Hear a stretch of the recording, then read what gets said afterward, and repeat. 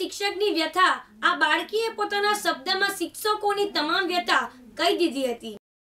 સાબરકાંઠાના હિંમતનગરની બાળકી શિક્ષણ અને શિક્ષકોની વણનતી સ્થિતિ રજૂ કરતી હોય તેવો વીડિયો વાયરલ બન્યો છે. સરકારી શાળાના શિક્ષકોને ભણાવવા સિવાય કઈ કઈ જવાબદારી સોંપવામાં આવે છે તે શિક્ષકોની વ્યથા દીકરીએ રજૂ કરી છે. શિક્ષકો શિક્ષણ સિવાય પણ અન્ય કામોમાં વ્યસ્ત રહે છે. હિંમતનગરની મોડર્ન સ્કૂલના વિદાય સમારંભમાં હિંમતનગરની મોડર્ન હાઈસ્કૂલના વિદાય સમારંભનો વીડિયો હોવાનું મનાય છે. વર્તમાન સમયમાં એક શિક્ષકની વ્યથા હું તમારી સમક્ષ રજૂ કરું છું. જેમાં શિક્ષક કરે તો શું કરે? કેટલી જવાબદારી પૂરી કરે? શાળામાં ભણાવવા સિવાય પણ કેટલી કામગીરી હોય છે?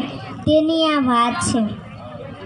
વર્ગમાં જાઉં છું, શાળામાં જાઉં છું તો મને સમજાતું નથી કે હું શું કરું. સફાઈ કામ કરાવવું યોગ કરાવવું પ્રાર્થના કરાવવું કે પછી તાત્કાલિક માગેલી શિષ્યવૃત્તિની માહિતી આપું. હું શું કરું? મને સમજાતું નથી. હું શાળા પ્રવેશોત્સવ કરું, બાળમેળો કરું, ગુણોત્સવ કરું કે પછી ગુણોત્સવનું નવું વર્ઝન ટુ પોઈન્ટ ઝીરો કરું. હું શું કરું? મને સમજાતું નથી.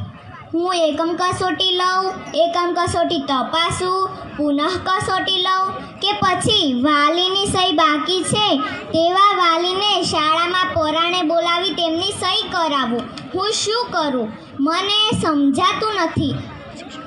હું શિક્ષકોની હાજરી ઓનલાઈન કરું, બાળકોની હાજરી ઓનલાઈન કરું, મધ્યાહન ભોજનના બાળકોની સંખ્યા ઓનલાઈન કરું, એકમ કસોટીના માર્ક્સ ઓનલાઈન પછી સત્રાંત કસોટીના માર્ક્સ ઓનલાઈન કરું. હું શું કરું? મને સમજાતું નથી.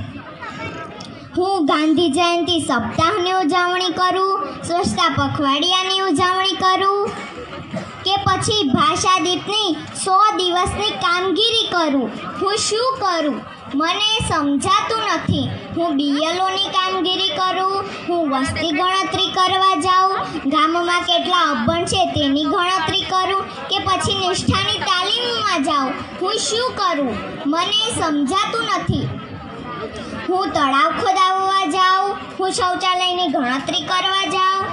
પછી તીર ઉડાડવા જાઉં. હું શું કરું? મને સમજાતું નથી. ઉમંગ રાવલ, દિવ્યાંગ ન્યૂઝ પ્રાંતિજ.